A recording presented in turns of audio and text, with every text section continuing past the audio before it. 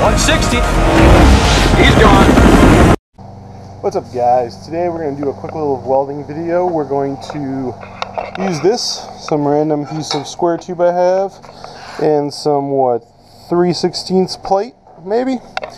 And what we're going to do is we're going to solve a problem I've been having lately is that this is my boat, this is my boat trailer, and one of the things my boat trailer is missing is a spare tire carrier. And I don't like to weld things to the boat trailer frame. I don't think that's like a, a real good solution. And so what we're gonna do is we're going to drill some holes right here and we're gonna build a little a little piece right here and it's going to lift the tire up so that we don't run into any uh, clearance issues. And we're just gonna put a little spare tire carrier right here. And that's a, another new project that's back there. There'll be another video on that shortly. But uh, what we're going to do is we're going to take this spare tire, or maybe that spare tire, and mount it up on the trailer. So it's just a quick little video. We're going to be using bandsaw, we're going to be using our new MIG welder. We're going to get some shit done.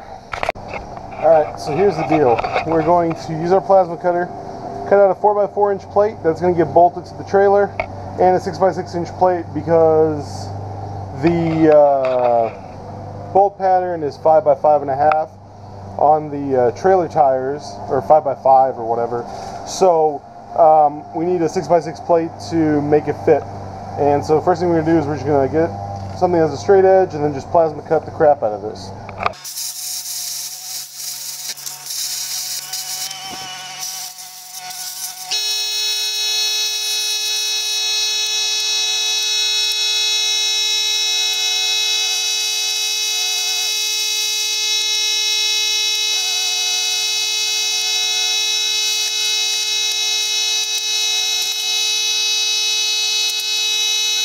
All right, there we go. We got our two uh, bolt holes for that marked out. We got our five bolt holes for this marked out. Now, I'm obviously not going to use all five holes. We're just going to use two. Um, but I went ahead and marked out all five just in case. I know they're all kind of cattywampus. I don't really care. Probably just going to use like that one and that one or that one and that one just across. And then uh, we're going to get some studs and some lug nuts for them as well. All right, next deal is we got to drill holes in this and get it uh, kind of mocked up on the trailer.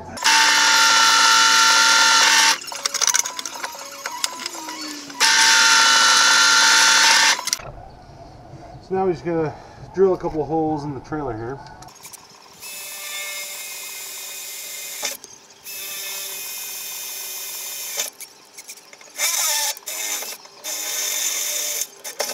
There we go.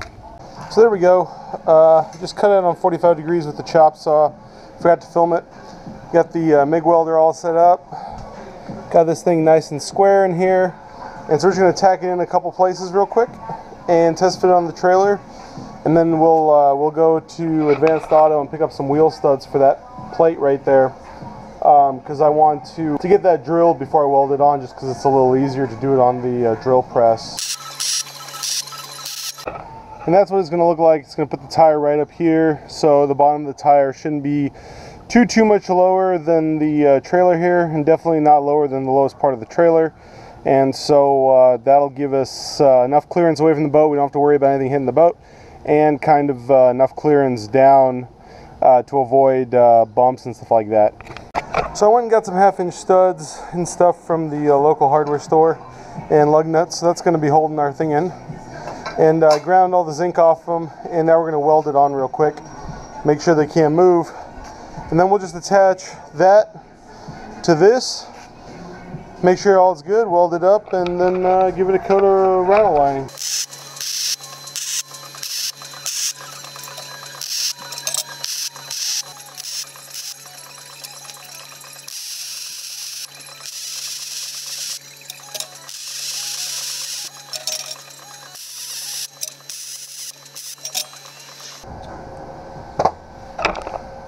Well, there we go. He's fully welded.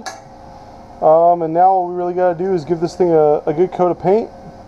Well, here's our finished product. Now I'm going to go get a wheel and tire and mount it up. And there's our final product. I know the tire looks like an old piece of shit, but it's actually uh, in pretty decent shape, holds air. And so there we go. So you can see it's nice and out of the way. It's not going to catch on stuff coming in and out of driveways, but it's not so high up that it's pain in the ass. And we got two studs, standard lugs, same as the ones on the trailer. So that way, in case I ever need one, I got an extra lug nut right there too. And all in all, pretty fucking happy with this. Thanks for watching, guys. This whole project took about an hour and a half, including a run to the hardware store. Um, if you like this video, please subscribe.